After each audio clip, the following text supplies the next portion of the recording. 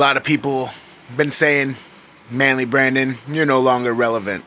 Sure, you carried this federation on your back for years, and sure, you built up a couple jobbers into semi superstars, and one of them happened to luck into winning the belt.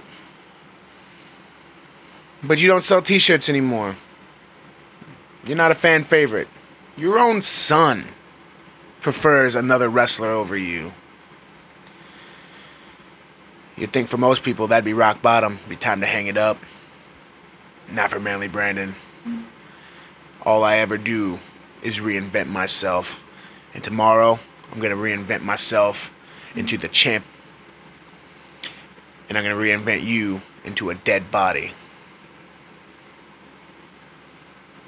I can't wait. I really can't. I'm trembling with anticipation.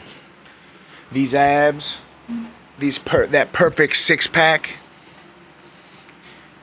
It's ready to take the beating that you're gonna put towards it. I'm not scared. Never been scared of you. I never will be scared of you, no matter how many times you paint your face up, no matter how many gallons of blood you pour, no matter how much sweat. None of it matters to me. Because I know you. I know what it takes to beat you. I've got what it takes to beat you.